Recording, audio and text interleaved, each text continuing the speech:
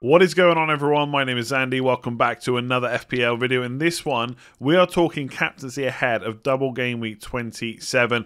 Obviously going to be looking at Man City players and then looking at other matches as well to see if there's any other picks we should be making. Should we really be choosing Southampton, for example, Spurs as well to be talked about, and there's a few other games as well. So if you enjoy it, please do hit the like button, hit subscribe if you're new around here as well. I am recording this before the press conferences, so obviously there's any key information, take that into into account before making your decision. And at the end, let me know who you're captaining as well in the comment section. Otherwise, let's jump into it. Okay, so let's start off with the obvious one Manchester City against Man United at home and Southampton at home. So, two home games in this double game week, and they've been pretty good to us over the last few weeks. I know last week didn't quite go as planned in terms of starts for players. Obviously, Gundogan didn't get very much. De Bruyne did okay though, uh, and obviously Dias and Stones both scored, but they conceded in one of the games um, as well. So it's a bit of a weird situation, but I think most people are going to be looking at Man City players for their captaincy this week. Quickly looking at the defences first before we talk about the various options. So,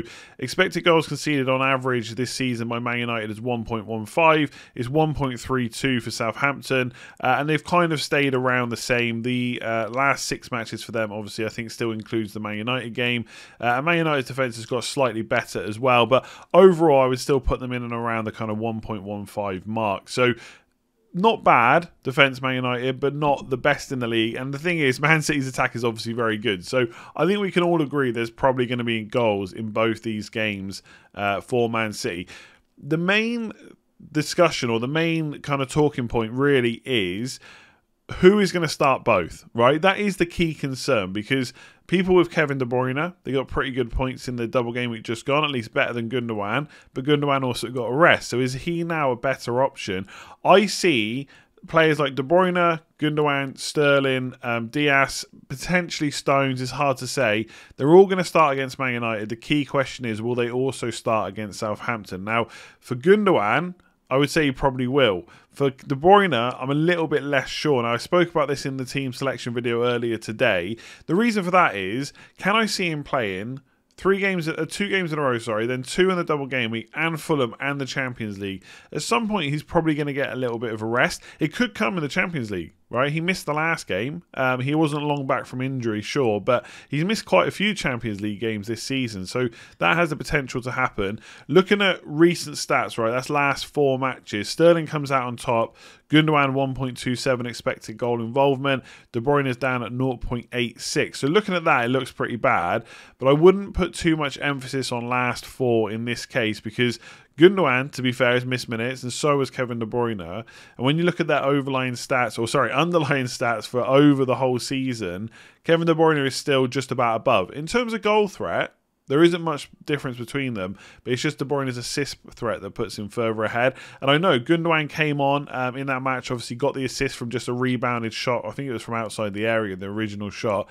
But like in the previous game, he was getting into the penalty area and finding good um, space. It's just about whether or not they can find him there. So for me, while I think Kevin De Bruyne, if they both play 90 minutes, is the better option, I'm not sure how much money I would bet on that happening. So right now, if I had Gundogan, he'd probably be my number one choice. Obviously, if you've got other players here, like Foden is almost certainly going to get at least one start, possibly two. Um, Sterling again, he could get one or two. Mahrez is an interesting one because there's a chance he misses Man United and then plays Southampton, and arguably that's the better fixture, right? So if you could get some minutes against Man United and play against Southampton, that could be decent.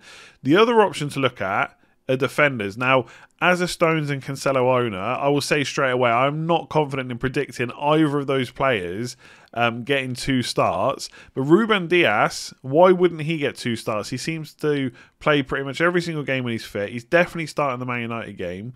So then it's just a gamble on whether he plays against Southampton.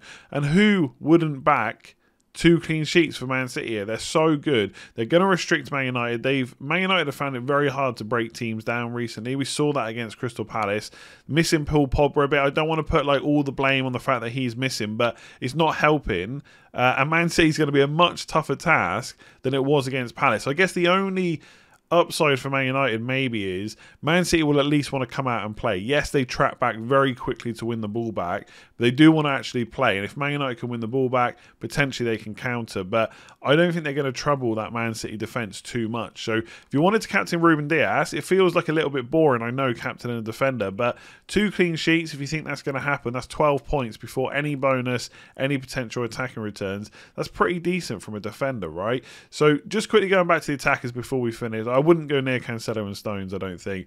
Um, Gundogan, if you've got him, he just seems like a perfectly viable captain this week. I wouldn't be going necessarily out of my way to get Kevin De Bruyne. There's still uh, a chance that some people will bring him in. I think if you do bring him in and you want to take that gamble, he starts both. I do think he's the better captain. But if you're worried about that, I would just go for Gundogan. Otherwise, if you are a Sterling owner, for me, it feels like a pretty safe bet to go for him this week. Um, his stats are looking good, potential for two starts. And I think the one thing to remember this week versus kind of last week is if you went for some and let's pretend that we don't know what the scores were. If you go for Sterling, you're backing against a lot of other captains like Fernandes, Salah, Kane. I know none of them did very well, but this week you're only backing against other Man City players because that's where people are going to put their captaincy. So I think you're not probably going to be massively punished if you've got Sterling and not Gundogan, or even if you own both by captaining Sterling. So I think he's a nice little differential here. Same with possibly Foden or Mahrez, but Sterling definitely more likely to get the two starts for me. Uh, otherwise, De Bruyne and Gundogan, who's most people own, perfectly fine captain. They're going to do really well this week. So I'm not going to lie to you. I'm skipping over Southampton, right? They play Sheffield United and Man City. To me, that's only a single game week game because I just fully see Man Man City getting that clean sheet. I just don't see Southampton breaking them down, and therefore I don't think they're good captaincy options. I don't think Danny Ings has been that great this season either. I've said that quite a few times over the last few weeks. Maybe he'll be be okay. If you've got him, perhaps you want to take a gamble on captain him, and arguably you should captain Danny Ings over a single game player like Kane or Son or Bale. Um, but for me, that Man City match just puts me off, and, and Sheffield United are not conceding a huge amount of goals right now, although their underlying stats are not great. So there could be um, goals to come against Sheffield United. So it's not the worst option. But I'm not going to talk about it in its own bit. I'm sorry to say. Let me know what you think about that in the comments below. Is that a mistake? Should they be included in the main part of the video? Let me know. I think Spurs is where a lot of people are thinking for single game week captaincy. Perhaps less so now that they only scored one goal against Fulham. It was an own goal as well. Like it's like the worst kind of thing that can happen from an FPL point of view. Not only is it an own goal, but it's Dele Alli that gets the assist, who almost nobody um, owned anyway. Uh, so looking at Palace's defensive numbers first really bad defense, right? Doesn't matter who they've played recently or not. Over the season, they're bad. 1.49 expected goals conceded is terrible. I don't really see any reason why that would suddenly get a lot better playing against Spurs. Um, and I think we have to add a third attacker in now. For a lot of the season, it's been Kane or Son, but now it's Kane or Son or Gareth Bale if you're thinking about bringing him in. Now, over the last four matches, Gareth Bale has not played as many minutes as the other two. But interestingly, he's not far away from Son in terms of expected goal involvement. One thing with Son is he's turning into a bit of a creator. But as you can see, last four matches, only had two shots in the box right? 0.5 shots in the box on average over the last four. It's not what you want to be seeing. I fully get, by the way, before anyone tells me in the comments that Son outscored Kane in the double, right? I get that. If he continues to get a couple of assists every game plus bonus, then that could continue to happen. But realistically, when you captain a player, you want goals. Unless you're going to go for a defender like Dias, you want goals. And Son is just not getting close enough to the goal right now to be scoring. We saw that against Fulham. Um, he created he kind of created the first goal, right? Didn't he? Dele Alli took the shot. I know it turned into an own goal, but that was a Son assist. Every other shot that I can remember was kind of near the edge of the area. Kane is still getting shots in the box. Eight, I think he's still the best option. His expecting goal involvement is quite high.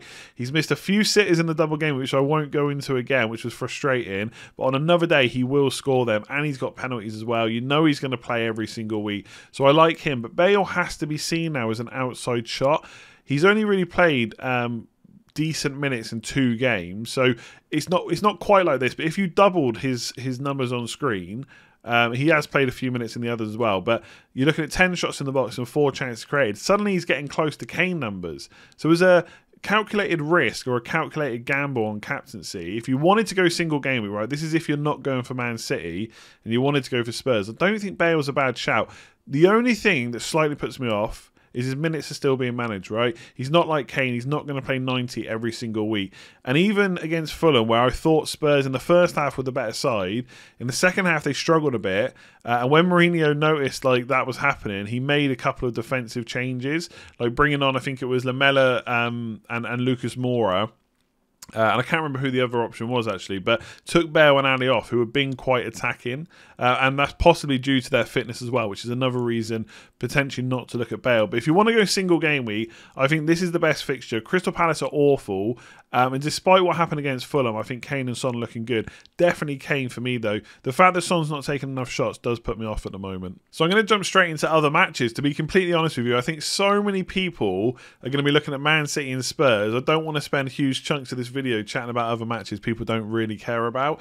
It is a little bit harsh not to have talked about Southampton, but Sheffield United away, Man City away, like I said, is very tough. I also think a lot of people probably jumped off Danny Ings last week because of his performances in the previous double game week as well. So I'm going to assume that not many people own him.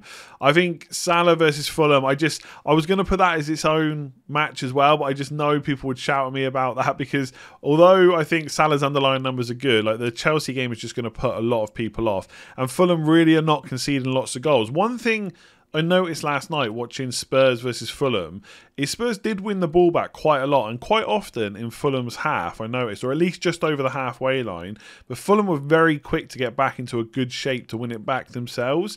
Potentially, Liverpool on their day have, I don't know, more key players that could exploit that. Salah and Mane running in behind, but I'm just not sure that's how that match is going to go. Especially, you know, Salah got brought off last night, and part of me just thinks getting brought off after 60 minutes or whatever it was, like 60 to 65, he was hugely frustrated.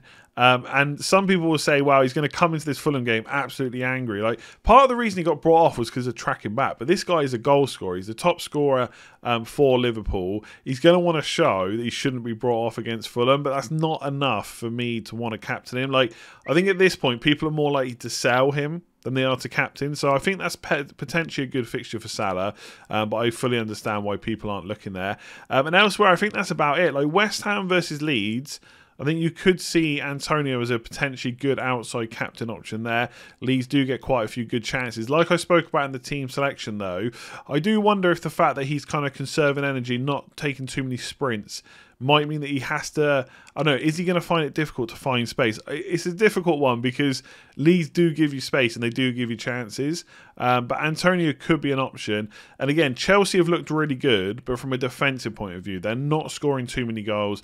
Werner I, don't know when he's going to get uh, into a run of games scoring goals, but I certainly wouldn't be looking there this week. And I think that's about it. Like Jamie Vardy versus Brighton, absolutely not. Not without Maddison and Barnes uh, and how well Brighton have been defending. And, and no other matches really take my interest. So I think Man City definitely the best captain options this week if you're going to go for double. And if you're going to go for single, I think it has to be Spurs. So that's it for this one. Thank you very much for watching. If you have enjoyed it, please do give it a like and hit subscribe if you're new around here. We have passed 100 146,000 subscribers, so we're now 4k away from 150k. So if you've enjoyed the video, you're enjoying the content, please do hit that subscribe button. And lastly, if you haven't already checked out Patreon, patreon.com slash let's talk FPL, link in the description below if you want to sign up to that. Slack access, early team reveals, all videos converted to podcast, loads of perks and benefits over there if you want to check it out. If you haven't already, link in the description below. I'll leave it there. That is the last video for today, uh, but tomorrow we'll have a deadline stream ahead of, of course, the deadline. So hopefully I'll see you there. It should be a big one, lots of questions to be answered. Until then, I'll catch you soon.